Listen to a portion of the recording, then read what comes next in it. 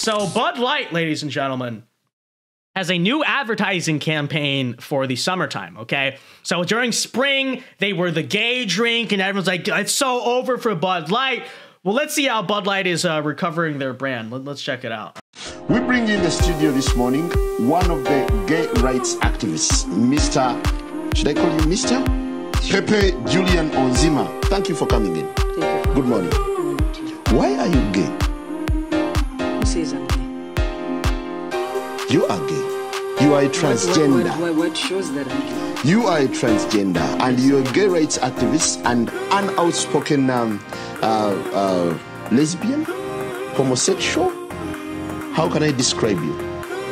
Now we're looking at the raging debate. Uh, you're a gay rights activist. Why should someone be gay? You're having a girlfriend. Yes. Do you perform the natural obligations? Uh, I'm not sexually active right now. So what are By you doing choice. this lady? By choice. By choice. I've just, you know, uh, I've chosen not to engage. Doesn't that make you gay? So, chat, what, what do we? How do we feel about this? How do we feel about this? Obviously, I don't forgive Bud Light whatsoever, but I'll go further than that. This ad actually did a very poor job of trying to recover their image because if their whole thing is, oh, they're not the masculine drink anymore, everyone jokes, it's the gay drink, it's the woman drink, whatever. And if their primary audience, right, is like straight men, right, you understand this.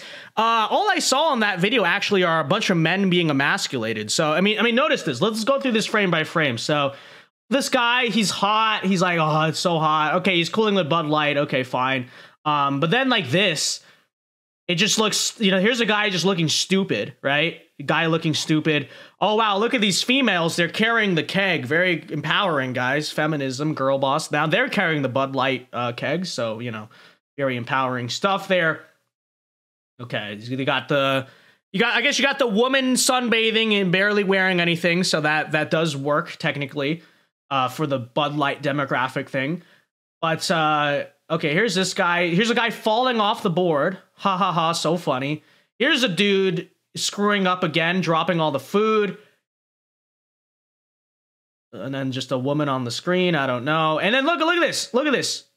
It's notice this, okay? You, you guys got to start paying attention to this when you watch advertising because actually, though, it's not just but this commercial. Very often, you'll notice the white guys, and particularly very often, uh, actually, actually, the guys, very often, particularly those specifically the white guys for a certain reason. You notice they always get emasculated in like every single commercial. So check this out, okay? This one right here the wind is blowing over the food or whatever. The woman is unscathed. Look who's getting like hit and screwed up. It's actually the the guy, right?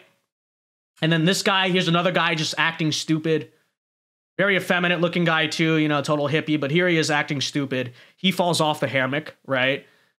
Oh no, the basketball got stuck. Oh, here's this guy getting splashed, okay? Literally, I watched this whole ad and it's just a bunch of men like getting emasculated, looking weak, looking stupid, whatever it is, getting made fun of.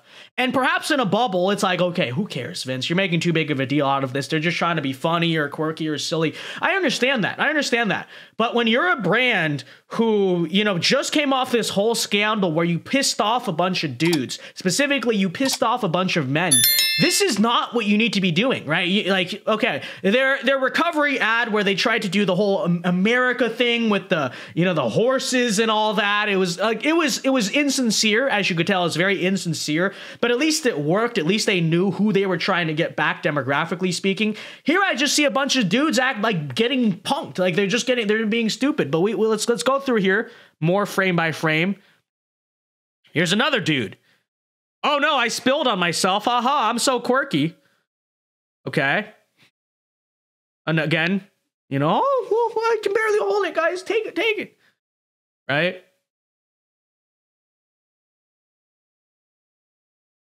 Oh wow, I've made it now into the hammock. Okay, well, well, so good and an easy to drink, easy to enjoy. Bud Light's not very easy to drink, by the way. It's disgusting. But uh, yeah, I just wanted to point that out. It, it not only like obviously they could do anything at this point unless they go full scale and say it was all wrong. We disavow Dylan Mulvaney. We disavow all this ideology, which they're never going to do. Then Bud Light will never be forgiven. Okay, and we understand that. But I am actually shocked at the level of incompetence in that ad because it, you know, I, would think every ad, if I were Bud Light, every ad I'd be doing from here on out is going to be masculine, America, bald eagles, AR-15s, freaking all the stuff, right? I'm going to do everything.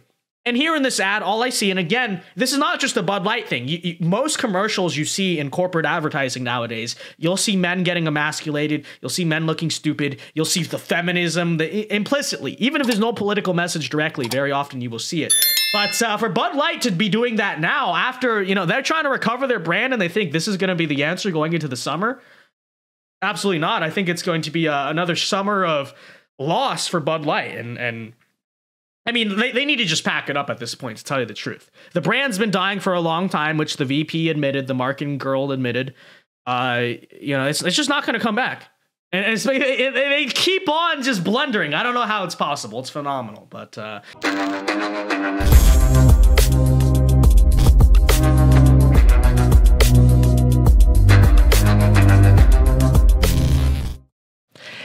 guys, Vince Dao here. Hope you enjoyed that clip from the Vince Dao show. If you did, be sure to leave a like and subscribe, subscribe, subscribe if you are new to the channel. And be sure to check out the Vince Dao show live every weeknight here on this channel at 8 p.m. Eastern Time. It is a great show. Many are saying this. Many are saying this. So leave a like, check out our other, our other clips, and be sure to check out the show yeah, God bless.